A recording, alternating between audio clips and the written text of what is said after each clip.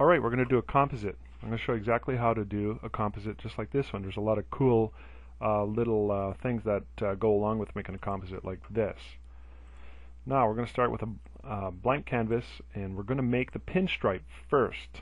Let me show you how that's done. It's a little bit complicated, but bear with me, I'll show you.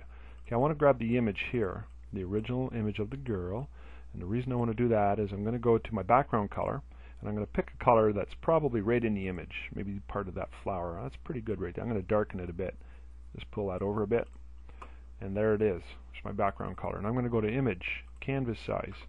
Now the actual pinstripe depends on your resolution, your personal tastes, so you might want to experiment with this. This is not dyed in wool. So, but I'm going to, for this image, use 0.2 and 0.2 all the way around. And there it is. You can see I've got a pinstripe all the way around my open canvas here. Next thing I'm going to do is I'm going to hit um, Magic Wand. I'm going to hit Selection. Then I'm going to go to Inverse. See, I've selected now only the uh, pinstripe. Now I'm going to go to Copy. I'm going to go to Deselect. And what I should do at this point in time is go back and in History to my clean canvas because now what I want to do is I'm going to hit D and that's my default colors. I'm going to go to black.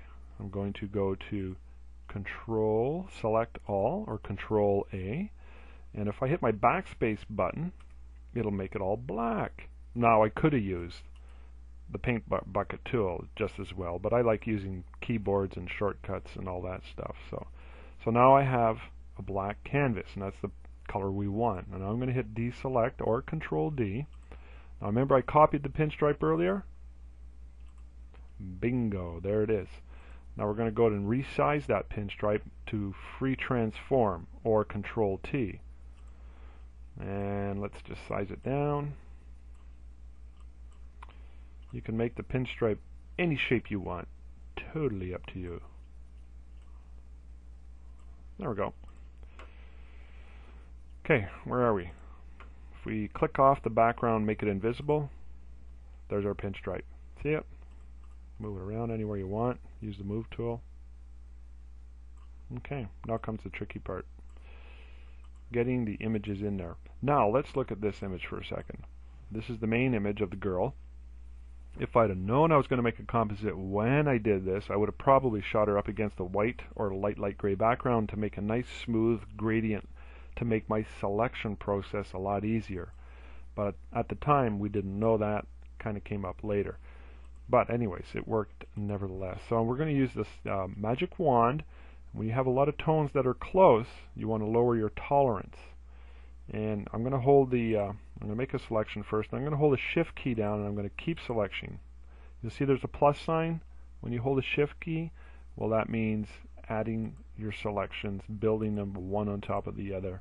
And you keep doing that. Now if you happen to make a mistake, push your Alt key down and you can start removing selections. See? Now I'm not going to go through the whole process because it takes quite a bit of time. And uh, you know, if this doesn't work for you, you can easily go to um, uh, go to your lasso or magnetic lasso and make a selection nice and slow you'll probably get there one way or another. And once you're done making your selection, go to uh, feather and feather at about anywhere from three to four. Uh, and so that way it smoothens your selection a bit. Okay, having said that, let's go back to the image now. So I'm going to save you all that time. Probably take me an hour to select all that. And we're going to grab the selection here, pretend that I just selected it all. You'll notice on the bottom See where there's a dark line right here? That's because once I placed her, I went in and I burned. So I didn't want that sharp, sharp edge of her body, the, her suit just stopping right there. So I wanted to create a soft vignette. Now in the original image, there's um, a little more of a, uh, a softening effect around the girl. And I'm going to show you that right now, how that's accomplished.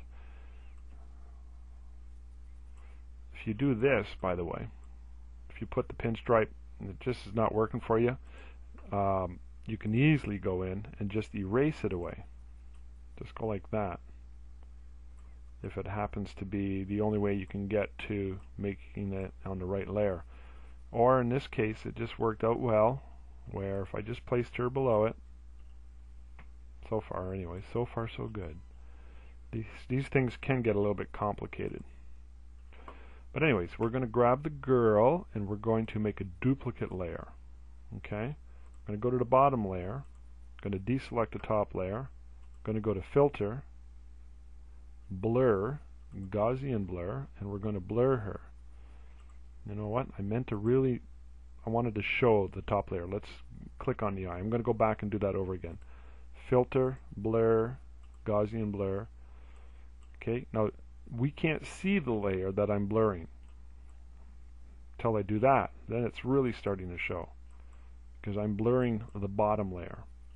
It's kind of a trick. It does two things. It softens the selection that you made in case it's not 100% perfect, and it just kind of gives it a nice floaty, cloudy feeling to it. So uh, it's kind of neat. So try that. It works. And there you have it. Alright, so basically with the other images, um, we have this one here and we selected just her. Very simple very very simple. Just a lasso tool and we just went all the way around. Okay maybe not that sloppy. Went all the way around and they're touching. Right here but that's okay. We'll build that up later very easy to do. We just cloned it back and selected it. And then we went selection feather. You wanted to get that feather up so that you have a nice soft edge. Actually you know what? I think in this case we'll even go we'll go to 10 not 19 10 9 and 0 are beside each other. So but let's go look at the image anyways. This is the original. You'll see it right there. Bingo. See? There she is see how this the um, selection was nice and soft? Let's drag it on there. And let's have a look at it. I'm going to show you what I mean. See how soft that is? Okay. That's because we feathered it. Now another thing is we lowered the opacity. That's full and this one was down to 81 There we go. I accidentally moved my line. There, uh, teach me. But see where we're going with this?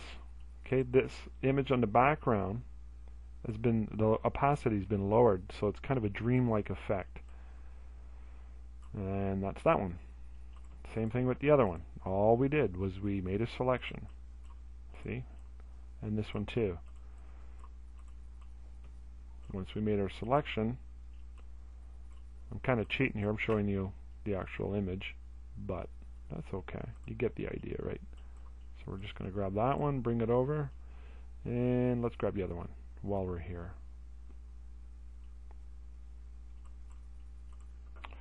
There's one more. There it is.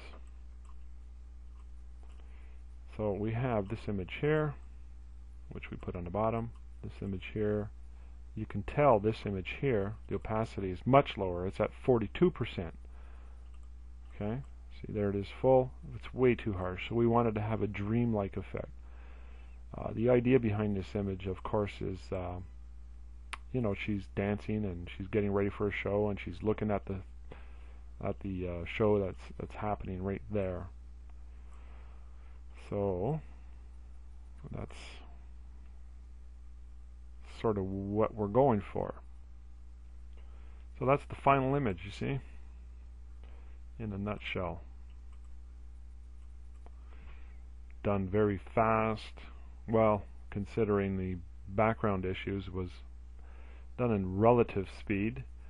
Probably total production time an hour and a half. Uh, once you sit down and do a little bit of tweaking and experimenting. So Again, we've got two layers of the girl. The girl in the bottom is uh, Gaussian blurred after we selected her and put her on the canvas. And this image here, in the dance pose, we selected her with a very soft feathering and lowered the vignette down to 81. This image here, uh, same thing, we lowered the uh, opacity down to 42. And this one here was full opacity. And we just kind of laid them around so that we had basically that's our final product. Simple very effective. Hope you enjoyed that.